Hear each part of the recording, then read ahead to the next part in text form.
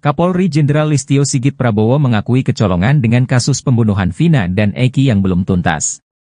Ia mengatakan seharusnya kasus itu diselesaikan dengan mengedepankan penyelidikan berbasis scientific crime investigation.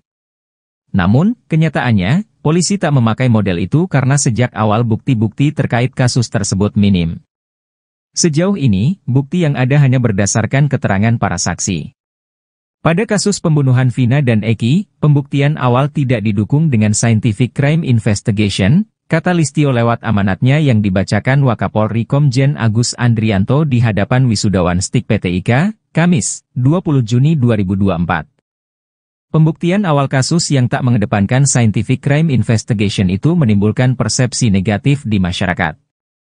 Terdakwa mengaku diintimidasi, korban salah tangkap, dan penghapusan dua DPO yang dianggap tidak profesional, ucapnya. Kemudian, Listio mengingatkan para penyidik untuk mengedepankan hal tersebut saat menangani suatu perkara. Menjadi penyidik yang profesional dan terhindar dari perbuatan menyimpang, mengedepankan scientific crime investigation, tuturnya. Listio juga mengingatkan kepada penyidik untuk melakukan penegakan hukum secara transparan serta dapat dipertanggungjawabkan melalui penyidikan berdasarkan scientific crime investigation guna mengungkap suatu perkara. Hindari pengambilan kesimpulan penanganan perkara secara terburu-buru, sebelum seluruh bukti dan fakta lengkap dikumpulkan yang tentunya melibatkan ahli pada bidangnya, terangnya.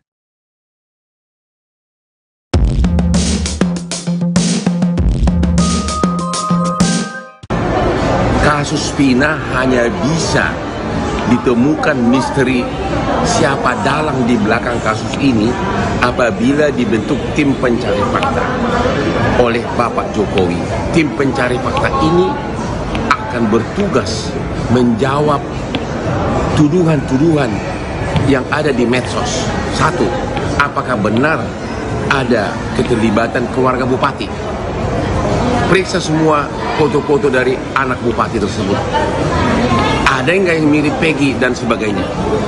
Yang kedua, apakah benar ada keterlibatan keluarga atau keturunan atau cucu dari oknum polisi senior.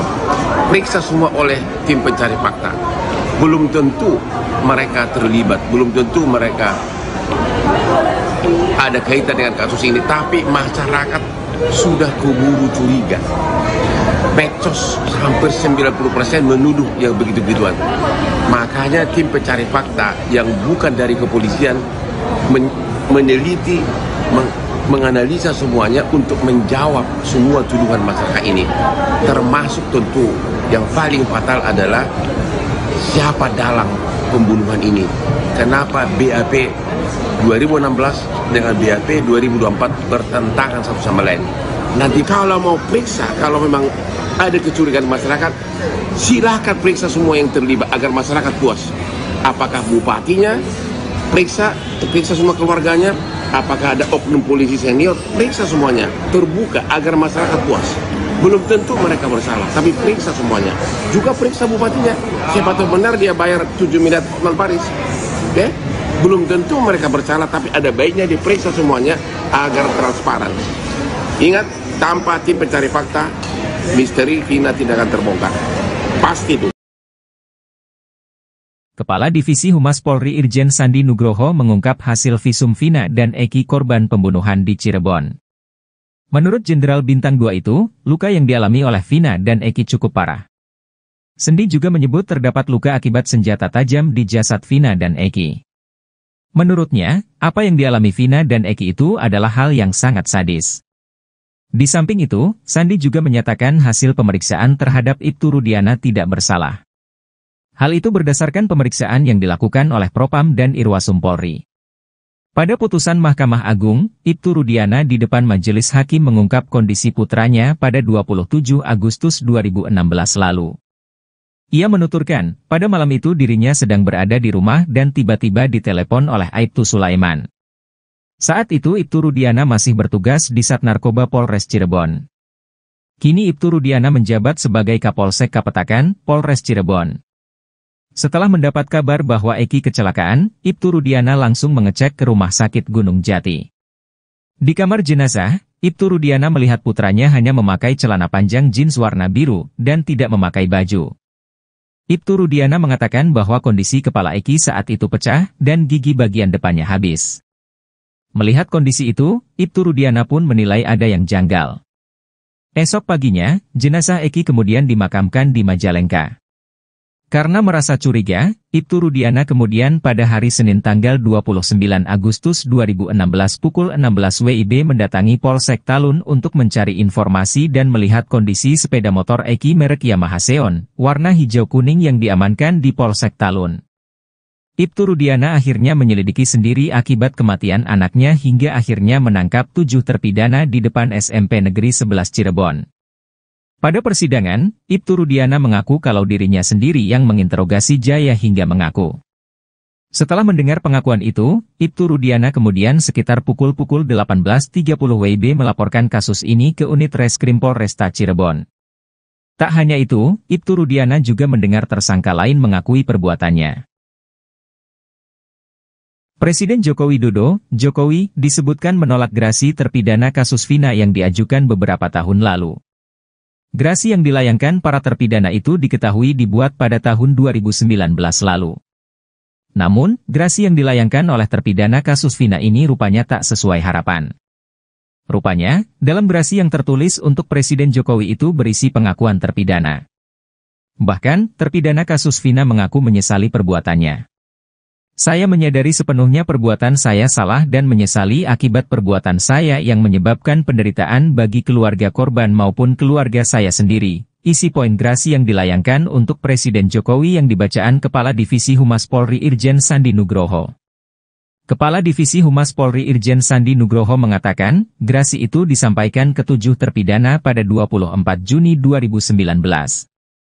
Sandi mengungkapkan, pengajuan gerasi itu secara tak langsung menyatakan bahwa ketujuh terpidana telah mengakui kesalahannya.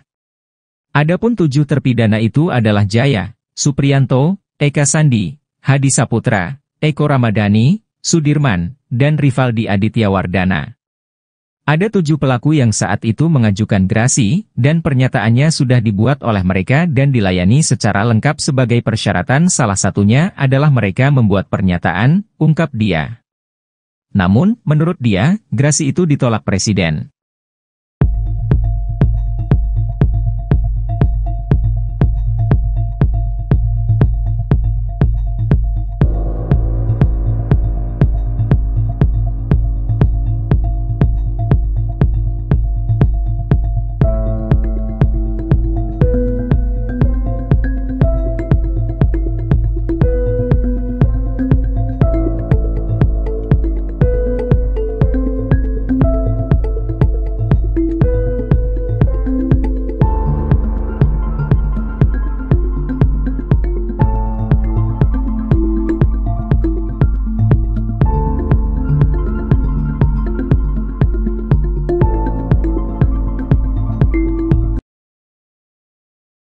Pak RT Pasren tetap memilih menutup diri untuk bertemu dengan siapa pun yang mendatangi rumahnya.